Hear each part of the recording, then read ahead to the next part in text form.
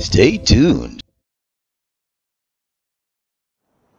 Hello, my friends. This is Bobbie coming to you from Talamban, Cebu, Philippines. I am having an awesome time in the Philippines today. Hope you are as well where you're from. Hey, today I want to talk to you about how you can securely arrange your dates in the Philippines. How to securely arrange your dates in the Philippines. Yeah! What a joy, such a joy to come back to you again today, my friends. And today, I want to say for those of you that are here for the first time, if you click on that subscribe button and the bell notification icon so you continue receiving fresh, new Philippine videos, motivational videos, and worldwide videos.